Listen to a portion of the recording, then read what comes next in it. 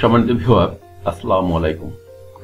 তো সম্মানিত ভিওয়াব আপনারা জানেন যে সারা দেশেই বন্যা পরিস্থিতি ভালো নয়, তার মধ্যে সিলেটে আসলে বন্যা পরিস্থিতি আরও চরমভাবে অবনতি। তো এরই মধ্যে অনেক ব্যস্ততার ভিতরে দিয়ে অনেক ইচ্ছা ছিল আপনাদের আগেই অ্যানালিসিস দেওয়ার, কিন্তু দিতে পারিনি বলে দুঃখিত। তো তারপরে বসছি আপনাদের কিছুটা হলেও আইডিয়া দেওয়ার জন্য, কারণ অনেকেই জানি যে নতুন যারা রয়েছেন, আমাকে অনেকেই ফলো করেন। প্রতি সপ্তাহে আপনারা অপেক্ষায় থাকেন, হয়তো অনেকেই যে কিছু একটি অ্যানালাইসিস দিলে আপনাদের জন্য ভালো হয়। তো শুধু, মূলত আমি তাদের জন্যই আসলে আজকে বসা। তো আমি আজকে আপনাদেরকে যে বিষয়টি দেখাচ্ছি সেটা হলো বিশেষ করে পঁচিশ জুন পর্যন্ত বা তারও কম বেশি সময়ের ভিতরে মার্কেটের আপডাউনটা কতটুকু কি হতে পারে বিশেষ করে গোল্ড মার্কেট অর্থাৎ এক্স ইউ ইউএসডি যদিও ইউএসডি অ্যানালাইসিসটা আমি দিয়ে দিয়েছি বা জিবিপি এটাও দিয়ে আহ, অন্য কারেন্সি যদি আপনাদের প্রয়োজন হয় আপনারা আমাকে কমেন্ট করে জানাতে পারবেন আমি চেষ্টা করব ওই ধরনের কারেন্সি গুলো পাবো কিছুটা অ্যানালাইসিস দেওয়ার জন্য। তো সমান্তরিকভাবে আপনারা জানেন যে মার্কেটটা যেখানে ক্লোজ হয়েছে, সেটা হলো আঠারোশো উনচল্লিশ। এই যে আঠারোশো উনচল্লিশ বিভিন্ন প্রোগ্রাম ভেদে অবশ্যই কিছু আপ ডাউন হতে পারে। তো আমি যেখান থেকে দেখাচ্ছি, আপনারা দেখছেন যে মার্কেটে আপনার আঠারোশো উনচল্লিশে মার্কেটটা ক্লোজ হয়েছে গোল্ড মার্কেটটা।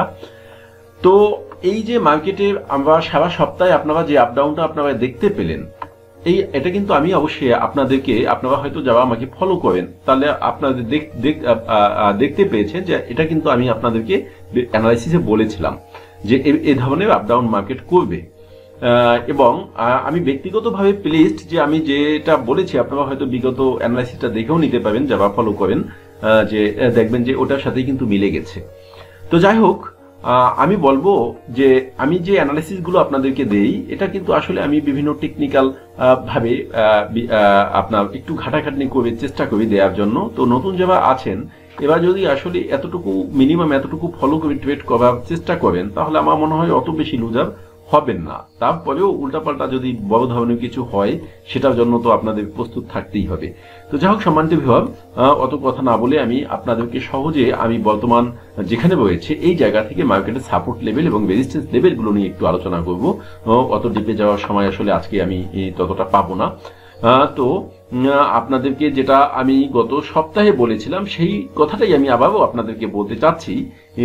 কারণ হলো এটা এই লেভেলগুলো বা এই ঘাটাঘাটনিটা আমার অনেক অনেক সাইড আমি ঘেটে দেখেছি বা বুঝেছি। যেটা হলো যে মার্কেট বর্তমান যে অবস্থা রয়েছে, এই অবস্থা থেকে মার্কেটের জন্য কিন্তু ফার্স্ট যে লেভেলটা রয়েছে, বিশেষ করে সাপোর্ট লেভেল অর্থাৎ মার্কেট কতটুকু যেতে পারে, সেই লেভেলটা হলো রয়েছে আপনার বিশেষ করে সতেরোশো আশি বা নব্বই। এই যে সতেরোশো আশি বা নব্বই, এই সতেরোশো আশি, নব্বই থেকে আপনারা ধরে নেবেন যে আঠারোশো আঠারোশো দশ, আঠারোশো পনেরো এই যে কোনো স্থানেই কিন্তু মার্কেট এসে এই জায়গা থেকে উপরের দিকে চলে যেতে পারে। অর্থাৎ মার্কেটের নিচের দিকে আমি আবারও আপনাদেরকে একটা কথা স্মরণ করে দিতে চাই, সেটা হলো বৃদ্ধ বিশ্ব অর্থনীতি যখন মন্দা চলতে থাকে, তখন কিন্তু গোল্ডের প্রাইসটা হাই হয়ে থাকে। এবং সে নিচে নামলেও থাকে না, সে নিচ থেকে আবার উঠে যায়। যার কারণে আমি আপনাদেরকে বলব যে মার্কেট মার্কেট আপনারা যেখানে এই যে অবস্থায় আছে বা থাকে, যদি মার্কেট নিচে এখান থেকে নেমে আসে, আপনারা যথেষ্ট পরিমাণ বেকআপ রেখে আপনারা বাই মোডে থাকতে পারেন। কারণ বাই মোডে যদি থাকেন, তাহলে আপনাদেরকে লুজার হওয়ার সম্ভাবনা খুব একটা বেশি থাকবে না, কারণ বাইরে মার্কেট যাবেই। নিচে নেমে আসলে মার্কেট নিচে নেমে থাকবে না, সে আবার বাইরে চলে যাবে। সুতরাং আপনারা এখান থেকে বিশেষ করে আটশো বা আট, সাতশো, সতেরোশো, আশি, নব্বই এই বা আঠারোশো, দশ, বিশ, এর ভিতরে যদি গোল্ডকে পান, এখানে আপনারা চাইলে বাই দিতে পারেন বাই করে এখান থেকে কিছু প্রফিট নিয়ে বের হয়ে যাবেন। আবার নিচে নামবে বাই দেবেন, উপরে উঠবে, কিছু প্রফিট নিয়ে বের হয়ে যাবেন।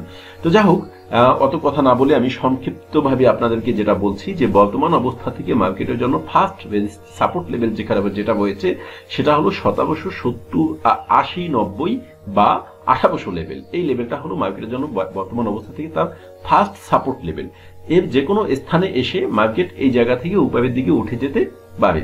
যদি মার্কেট ওই লেভেল থেকেও মার্কেট উপরের দিকে না যায়, সেই ক্ষেত্রে মার্কেট পরবর্তী যে সাপোর্ট লেভেলটা সেই সাপোর্ট লেভেলটা কোথায় রয়েছে, এটা একটু আপনাদেরকে আমি নিশ্চিত করছি। তো সম্মানিত ভর তো এখানে আরও একটা কথা বলি, যে মার্কেট কিন্তু ওই জায়গা থেকে যে একদম উপরে ওখান থেকেই এসে যাবে এমন না, ওখান থেকে কিন্তু চাইলে সে সতেরোশো পঞ্চাশ ষাট পর্যন্ত সে একটা লেভেল তার রয়েছে, যদি এটা অধিকটা স্ট্রং লেভেল নয়। তো যাই হোক, সম্মানিত বিভাগ, এই জায়গা থেকে ওই লেভেলটা গুলো ভেঙে যদি মার্কেট নিচে নামে, তাহলে তার পরবর্তী সাপোর্ট লেভেল হলো বিশেষ করে শতাংশো বিশ, শতাংশ বিশ বা শতাংশ দশ। অথবা যদি ধরে নেন আপনারা রাউন্ড ফিগার যদি শতাংশ লেভেল ধরেন, তাও আপনারা ধরে নিতে পারেন। তো ওই লেভেলটা যদি ভেঙে ফেলে, সেই ক্ষেত্রে মার্কেট ওই জায়গা থেকে পড়ে যাবে হলো বিশেষ করে ষোলোশো সত্তর, ষোলোশো ষাট বা সত্তর। তো আমার কাছে যেটা মনে হয়, এর নিচে মার্কেট যাওয়ার টোটালি কোনো সম্ভাবনা নেই। বিশেষ করে দুই এক সপ্তাহ ভিতরে এর নিচে আর যাওয়ার সম্ভাবনা আমি আপাতত দৃষ্টিকোণ থেকে আমি দেখছি না বা দেখতে পাচ্ছি না। যদি বড় ধরনের নিউজ না হয় বিশেষ করে গোল্ডের বিপক্ষে অথবা আপনার ইউএসডির পক্ষে। তো যা হোক সম্মানিত ভিওর এখন এই যে লেভেলগুলো আমি আপনাদেরকে বললাম, এটা হলো বর্তমান অবস্থা থেকে মার্কেটের জন্য সাপোর্ট লেভেলগুলো বললাম আমি, যে এই এই লেভেলগুলো হলো মার্কেটের জন্য সাপোর্ট লেভেল রয়েছে গোল্ড মার্কেটের জন্য। তবে এতটুকু নিচে যাবে বলে আমার কাছে মনে হচ্ছে না। তো যেহেতু টেকনিক্যাল অ্যানালাইসিস বলছে, আমি অ্যানালাইসিস গুনে আপনাদেরকে সর্বশেষ লেভেলটাকে আমি আপনাদেরকে দেখিয়ে দিলাম। তো সতর্ক থাকবেন ওই লেভেলটা পর্যন্ত। তো যাই হোক সমান্ত বিভাগ এই যে লেভেলটা রয়েছে, এই লেভেলটা থেকে যদি মার্কেট সাপোর্ট লেভেলকে সার্ভস না করে, সে যদি রেজিস্ট্যান্স লেভেলকে সার্ভস করে, সেই ক্ষেত্রে মার্কেটের কোথায় কোথায় তার রেজিস্ট্যান্স লেভেলের পাওয়ারগুলো রয়েছে, আমি এই জিনিসগুলো আপনাদের সাথে আলোচনা করছি। তো এখান থেকে বর্তমান অবস্থা থেকে তার ফার্স্ট রেজিস্ট্যান্স লেভেল যেটা রয়েছে, সেটা হলো খুব একটা দূরে দূরত্ব নয়, কাছাকাছি, সেটা হলো আঠারোশো আশি বা নব্বই। এই আঠারোশো আশি বা নব্বই তার জন্য ফার্স্ট রেজিস্ট্যান্স লেভেল রয়েছে। তো এই ফার্স্ট রেজিস্ট্যান্স লেভেল যদি ভেঙে ফেলে মার্কেট সেই ক্ষেত্রে মার্কেট ওই জায়গা থেকেও খুব একটা বেশি দূরত্ব না তাও কাছাকাছি। অর্থাৎ উনিশশো বিশ বা দশ পনেরো বিশ বা এই লেভেলটা মার্কেটের জন্য তার পরবর্তী রেজিস্ট্যান্স লেভেল তো সমান্তরিকভাবে এখানে আবার একটা কথা আমি বলে রাখি যে, এই যে লেভেলগুলো আমি আপনাদেরকে বলছি, আপনারা একটু লক্ষ্য করবেন যে লেভেলগুলো কিন্তু খুব একটা কাছাকাছি। অর্থাৎ হিসাবে যদি আমরা বলি, তাহলে মার্কেটটা কিন্তু গোল্ড মার্কেটটা কিন্তু একটা সাইড ওয়ে অবস্থানে ধরে রেখেছে। যার কারণে অনেক দূরত্বে তেমন কোনো লেভেল আমরা দেখতে পাচ্ছি না। তবে যদি অনেক দূরত্ব লেভেল সে ক্রিয়েট করে, সেই ক্ষেত্রে কিন্তু মোটামুটি ভালো কিছু আপ ডাউন হতে পারে। তো যাই হোক পরবর্তী লেভেলের কথা যদি আমি বলি, এই জায়গায় বর্তমান অবস্থা থেকে সেটা হলো উনিশশো পঁয়ষট্টি বা সত্তর, উনিশশো পঁয়ষট্টি বা সত্তর, এর পরবর্তী লেভেল হয়ে যাবে আপনার দু হাজার লেভেল। তো এই যে লেভেলগুলো আমি আপনাদেরকে আজকে জন্য আমি আপনাদের আজকে অ্যানালাইসিসে যে লেভেলগুলোর কথা আমি বললাম আপনাদের, আমার মনে হচ্ছে না যে খুব একটা বেশি এর বাইরে মার্কেট যাবে বিশেষ করে আগামী এক সপ্তাহের ভিতরে। তো পরবর্তী সপ্তাহে আবার আমরা হয়তো দেখতে পাবো যে এনএপি নিউজ চলে আসবে। আর এনএপি নিউজকে সামনে রেখে সপ্তাহ শেষে হয়তো একটু আপ ডাউন হতেও পারে, এটা বলা মুশকিল। তবে পরবর্তী সপ্তাহে হয়তো আর একটা ভালো একটা আপ ডাউন আমরা দেখতে পাবো। তো যা হোক সমাজে ভর আমি সর্বশেষ আবার আরও একটা কথা আবার পুনরায় রিপ্লাই করতে চাই, সেটা হলো গোল্ডকে যদি আপনারা নিচে পান, তাহলে ওইখানে আপনারা বাই দিয়ে, অল্প ভলিউমে বাই দিয়ে ওয়েট করতে পারেন। উপরে উঠলে হয়তো প্রফিট কেটে নিয়ে নেবেন।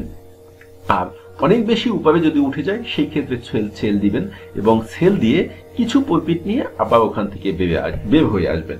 তা আমি কিছু প্রফিটের কথা কেন বলি? কারণ অনেক সময় হয় এরকম যে আপনারা অনেক বেশি লাভের আশায় উল্টাপাল্টা অর্ডার করে বসে থাকেন, দেখা যায় মার্কেট বেক আপ থাকে না না থাকার কারণে অনেক বেশি মুভমেন্ট যখন হয়, তখন আপনাদের এক ব্যালেন্স জিরো হয়ে যায়। তো গোল্ডকে মার্কেট গোল্ডের মার্কেটে যারা ট্রেড করবেন, বিশেষ করে ভালো ব্যালেন্স নিয়ে তারা কিন্তু যথেষ্ট পরিমাণ প্রফিট করতে পারছেন।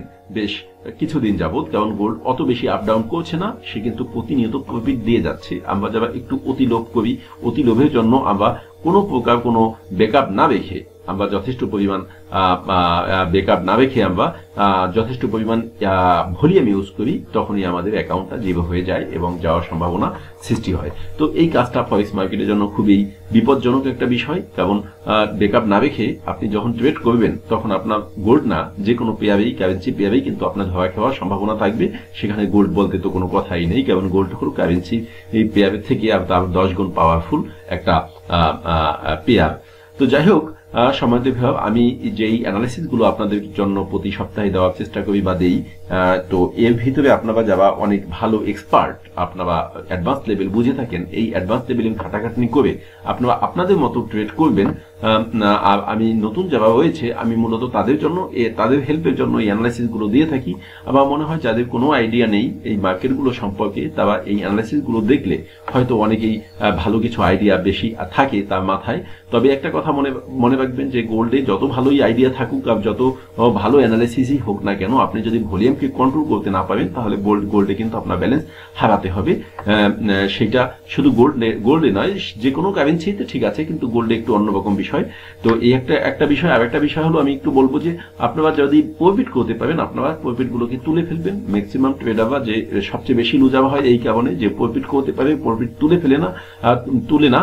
পরে কি করবে ওই প্রফিটটাকেও বেকআপ হিসেবে ধরে নিয়ে ভলিউমকে আরও বাড়িয়ে দেয়। পরে সবই যায় এক কথায়, বাংলা কথায় যেটা বলে, আমও যায়, ছালাও যায়।